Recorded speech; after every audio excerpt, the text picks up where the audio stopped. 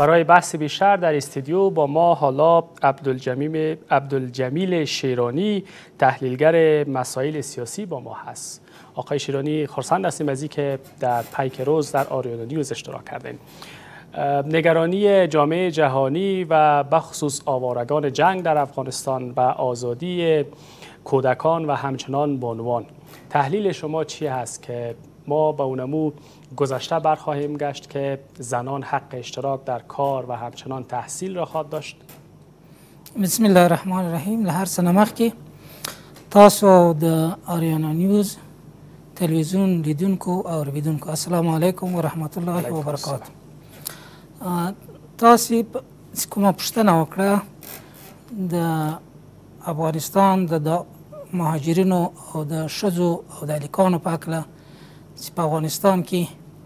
یعنې د دوی دپاره کومه زمینه مساعده سي یا کوم کار ورته وکړی سي له لویه سره خو به یې راواخلو چې مهاجرین په نړیواله سطح یا جهاني سطح یا په ملي سطح په دوو برخو وشل کی یو هغه مهاجرین دي چې په داخل دا یو ملک هغه له یو ولایت څخه بل ولایت هجرت کوي د جګړو جنگونو او د دې لواجه او یو هغه مهاجرین دي چې د جنگ او جګړې لواجه د خپل ملک یا خپل کشور نه نور ګاونډیو هیوادونو ته هجرت کوي نو دا اوس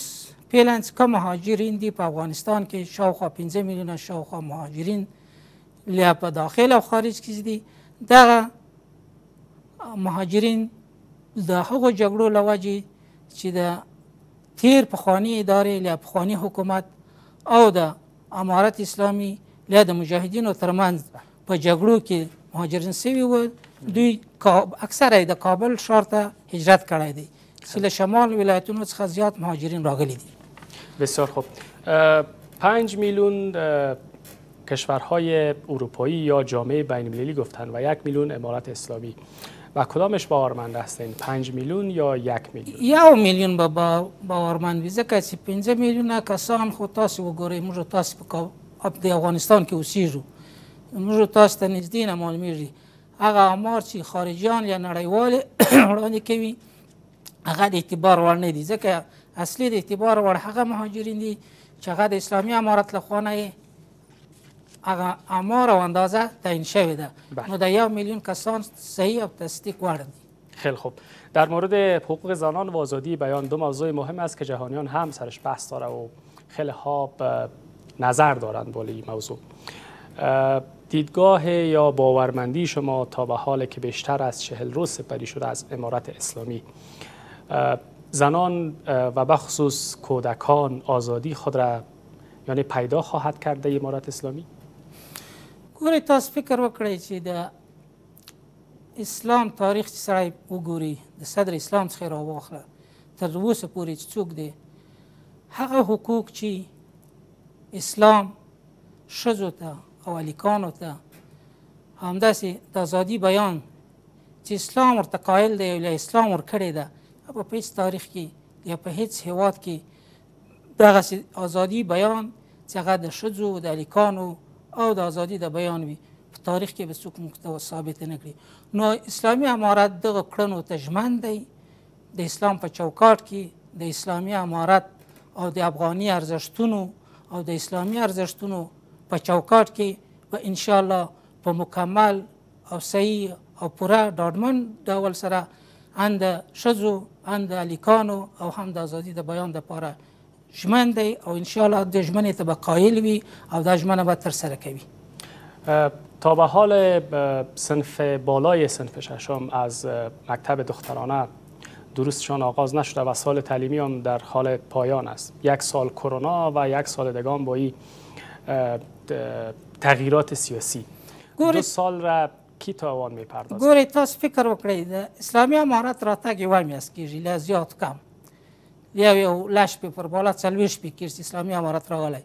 دغه دوه کاله ځنډېدل د د کرونا له وجې له په نورو پلمو او بهانو چې کله د پخوانۍ ادارې له خوا نه دغه د نجونو او هلکانو مکتبونه کورسونه پوهنتونونه فاکولتي وځنډول سوې ددې علتونه خو زیات موږ ته معلوم دي، دومره کرونا هم نه وه لکه کوم چې دوی بهانې جوړولې، هغه کرونا اوس چیرته ده؟ هغه د کورونو بهانې چې دوی کولې د کرونا په په وجه دوی د زیات امتیاز اخیستل دولت یا د هغو چارواکو چې هغه خپل شخصي جیبو ته تللي که هغه په محلي ادارو کې و او که په مرکز کې و چې دوی تاسو موږ او تاسو د دې شاهدان وو چې دوی له دوی نه څو استفاده وکړه خو اوس د اسلامي امارت په راتګ سره یوه میاشت کېږي چې دا مکتبونه هغه هم د اول نه تر شپږمه پورې دا مکتبونه فعال دي د نجونو د لیکانو او د لیکانو خو ټول فعال دي تر دولسمه پورې ان شاء الله اسلامي امارت دې تجمن دی چې هغه چوکاټ طرز العمل چې دوی د جوړوي چې د ګډ درس ویلو نه څه دوی سره جدا کی دغه د پاره سیمپونه دغه د پاره ترانسپورتیشن دغه د پاره استادان په دې باندې جدي کار روان دی ان شاء الله په ډیر نږدې وخت کې به موږ ته د امارت اسلامي له خوا نه په وار وار سره د فرهنګي کمیټې څخه د او د تعلیمات اسلامي څخه او د نور ارګانونو څخه موږ دا خبر ترلاسه کړی د معارف د ادارو څخه د معارف د وزارت څخه چې په ډیر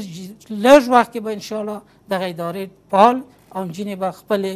لوړو زده کړو ته او تر دولسمه پورې د پانتون په کچه پورې د ماسترۍ پورې خپل درسونو ته خو په اسلامي چوکاټ او په اسلامي حجاب حقوق زنان آزادی بیان تا که معلوم نشه برای جهانیان و معلوم نشه برای کشورهای ابرقدرت افغانستان بخصوص امارت اسلامی را به رسمیت نمیشناسند چقدر میتونه که زیانبار باشه برای مردم ما گوره که دست وای چی دغه شرطونه د کوچ خارجان یا نړیوال ټول د په سر کې امریکا ورپسې ناتو او هغه هیوادونه چې د شل کاله د اسلامي امارت سره یا د مجاهدینو سره په جګړه بوخت وو نو که دې شرطونو ته اسلامي امارت لیا خصوصا مجاهدین لیا اوسنی حکومت چې اسلامي په خپلواک آزاد حکومت دی غاړه ښولی نو د شل کاله جګړې او شل کاله مبارزې ته ضرورت څه خو خو دا بنسټونه خو فعال وو د دې د دې جګړې ته څه ضرورت و د دې جنگ ته څه ضرورت و او دا دا سیستم چې لکه کوم چې خارجان غواړي نو د دې لپاره خو هغه زوړ سیستم ډیر ښه و فعال و نو بیا د ضرورت د دې څه و خو اوس کوم اسلامي حکومت له اسلامي امارت دغه شل کاله جګړه کړې ده د همدې هغه اسلامي ارزښتونو او د ملي ارزښتونو په خاطر کړې ده چې موږ د خارجانو هیڅ نوع شرایط او هیڅ نوع غوښتنې په خپل اسلامي ملک کې نه غواړو او نه ورته غاړه ایږدو خیلی خوب یعنی باز هم میپرسم آقای شیرانی که زنان به اون 20 ساله که پیشرفت داشتن در عرصه تکنولوژی در عرصه رسانه و در همه عرصه ها آیا امارت اسلامی برش پابند خواهد بود تا ادامه به کارشان به در چوکات شریعت اسلامی ان شاء الله ان شاء الله تر ټولو بجمن وي تر ټولو ځکه موږ تاسو ته فکر وکړو چې اسلامي امارات مجاهدینو په خپل کړنلارو کې په خپل ژمنو کې په خپل وعدو کې دا ثابته کړې تاسو فکر وکړئ د دوه د تړون څخه رانیولې تر اوسه پورې کومې خبرې چې اسلامي امارت کړي هغو ته ژمن پاتې شوی دی او اسلامي امارت هغه پریکړه له ژمنه نه کوي چې هغه تر وس او توان لوړی وي هغه ژمنه کوي چې هغه د دوی تطوان کوي او ان شاء الله تر نو تر په افغانستان کې به راتلونکي د شزو ان حقوق ان تعلیمي حقوق ان انساني حقوق ان بشري حقوق ان اقتصادي حقوق تر نور زیات مراعات کیږي ځکه چې اسلام کوم حقوق چې ښځو ته ورکړي هیڅ نړیوال قوانین یې نشي ورکولی هیڅوک یې نشي ورکولی نو اسلامي امارات په همدې ژمن دی چې اسلامي قوانینو ته ژمن پاتې شي نو اسلامي قوانینو ته چې څوک ژمن پاتې کېږي نو په هغې کې د نر او ښځې حقوق معلوم دي د اسلام په چوکاټ کې به مکمل تور ورکول کېږي انشاءالله موږ په دې اطمینان موږ ته د اسلامي امارت له خوا نه راکړه سوی او موږ به خلکو ته هم ورکوو چې موږ تاسو باید د دې تشویش ونه کړو او د د غربیانو او له د هغو هیوادونو چې موږ باندې شرطونه ږدي په شرطو باندې په موږ باندې دغه کې موږ دې ته غوږ کېږدو او لږ حوصله وکړو او تاسو به دغه ژمنې ووینئ چې انشاءالله دا به په عمل کې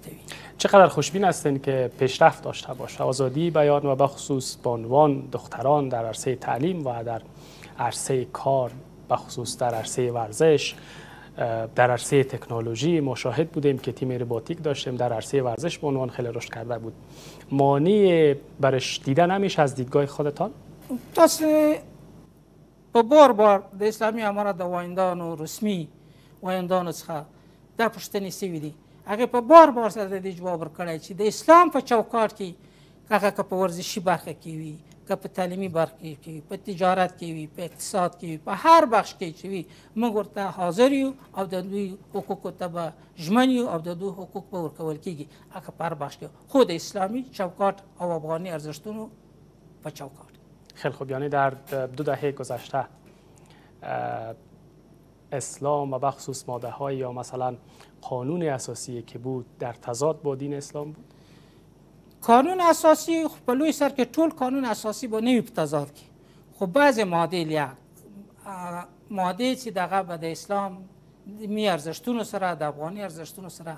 حتما په ټکر کې وي او د غې د اصلاح لپاره به اسلامي امارت د کار شروع کړي او اوس موقت هغه د الله حضرت ظاهر شاه د وخت قانون تطبیق کړی دی چې په غې به عمل کیږي ځکه دلته تبلیغات داسې و چې دی قانون نه تجمن دي اصلا خو قانون په افغانستان کې زموږ ستاسو لپاره یو یو قانون موږ لرو الهي قانون دی چې قران او سنت دی نو دغه په چوکاټ کې به موږ ټول کارونه دغه په چوکاټ کې پر مخ وړو وضعی قوانین به ان شاء الله چې بعضی قوانین چې هغه په قرآن او سنت کې لیا هغه مثال د ترافیکو قانون دی د شاروالۍ قانون دی بعضی نور قوانین دي چې هغه هلته موجودیت نه لري د دې لپاره به لیا د نړیوالو سره کم قوانینونه دي او یا تړونونه دي په هغې ته مجمن دي او اوس به فعلا د هغه قانون څخه استفاده کوي چې هغه د اعلیحضرت محمد ظاهر شاه د وخت قانون و او وروسته به چې څو نوی قانون تصویبیږي یا جوړیږي تر هغې پورې به دا قانون د اعتبار وړ وي خیلی خوب ضرورت اشد است و ضرور است یعنی که به زودی شناخته شود افغانستان کشورهای اروپایی یعنی بشناسه افغانستان ولی نه اشد ضرورت ای دا نړیوال د افغانستان سره ډیر سخت جفا کوي خصوصا تاسو فکر وکړئ په نړیوال نورمونو کې درې اساسي شرایط د یو هیواد د پیژندګلوۍ لپاره چې هغه اسلامي امارات په ځای کړي فکر وکړئ یو ملک چې کله څوک په رسمیت پیژني په نړیواله سطح هغه درې اصول لري یو په ملک د ملک نفوس دی یو د ملک په ټوله جغرافیه باندې کنټرول دی او بل په عمل کې حکومتداري ده دا درې سره حصوله نفوس موجود دی په افغانستان کې سل فصله د اسلامي حکومت د اسلامي امارت تسلط دی او حکومت برحال حکومت جوړ دی او د دنیا له خوا نه باید دا په رسمیت وپېژندل شي و اگر شناخته نشد چی که شناخته نشد دا په نړیوال په نړیواله سطح د نړیوالو قوانینو د دوی د طرز العملونو د دوی د دیموکراسۍ په لیول باندې چې موږ ورته وګورو دوی به د خپلو قوانینو د خپلو ارزښتونو سره جفا کړې وي او خصوصا د افغانستان سره د افغانستان د مظلوم ملت سره ګوپ فکر وکړئ تاسو فکر وکړئ چې دا د رسمیت پیژندل هغه دارایی له هغه دارایی چې هغه د افغانانو حق دی هغه خارجانو کنګل کړی ده هغه افغانانو ته نه ورکي اوس فشار چې دوی کم فشارونه راوړي په اسلامي امارت باندې دا په افغانانو باندې راوړي اسلامي امارت باندې دی دوی وی دوی د بشر ډنډوري غږوي د بشر د حقوقو نارې وایي اوس د څلوېښت میلیونه پنځه دېرش میلیونه افغانان چې له فقر او د دوی په هغه اصطلاح باندې له لوږې سره مخامخ دي خو دا خو دوی جوړه کړې ده ډرامې خو دوی جوړې کړې دا برنامې خو دوی جوړې کړې دغه ګوناګون بندیزونه چې دوی لګوي لګولي دي دا د دوی له خوا نه دي دا اصلا دوی بشر دوستان نه دي دوی د بشر وژونکي دي دوی د بشر سره لوی جفا کړې ده په تاریخ کې تاسو وګورئ چې دوی تس په نامه د د بشر د حقوقو څخه استفاده کړې ده خو کوم ځای کې چې اصلي د بشر حقوق راغلي دي هغه بشر حقوق دوی تر پښو لاندې کړي امارات اسلامی باید کدام کارها را اولویت به تدها بیجا شده ها و بخصوص آوارگان جنگ و شهروندهایی که خیلی ها میال محتاج هستند برای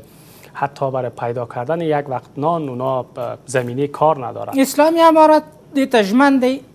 تیر ورز اسلامی امارت د مهاجرینو د وزارت لخوانه یو راپور به تاسو مخرویدلی وي چې نړیوالو هم هغه پیسې چې د مهاجرینو د پاره جدا کړې وي نو هغه د بیلو بیلو موسساتو لخوره له انجوګانو لخوانه د دوی په اختیار کې ورکړل شوي له د دوی په هماهنګۍ باندې چې هغه به هغه بې ځای شوي خلک چې له ولایاتو څخه راغلي دي خصوصا له شمال څخه راغلي دي هغه به بیرته ځي خپل کورو ته د هغوی د لارې قریه کرایه به ورکول کیږي د هغوی لپاره به نغدې پیسې ورکول کیږي او د هغوی لپاره به خوراکي مواد او هغه کور بعضې مهاجرین چې کورونه یې تخریب شوي د هغوی د کورونو د آبادولو لپاره به بعضې موسسات د هغې لپاره اقدام کوي او دغه کورونه به ورته جوړوي نو دا د مهاجرینو د وزارت لومړی اولیت دی چې د مهاجرین مخکې له یخنۍ د موسم د راتګ څخه دوی خپل کورونو ته ځای ځکه اوس په افغانستان کې جګړه پای ته رسیدلې نور د هجرت کولو ضرورت نشته باید موږ تاسو مهاجرین خپل کورونو ته ولاړ شي او د مهاجرینو د کورونو تګ کې باید اسلامي امارت پوره همکاري وکړي چې له ژمي نه مخکې دوی خپلو کورونو ته ورسوي او هغه کورونه چې تخریب شوي دي د هغوی په جوړولو کې ورسره همکاري وکړي سپاسګزار هستیم عبدال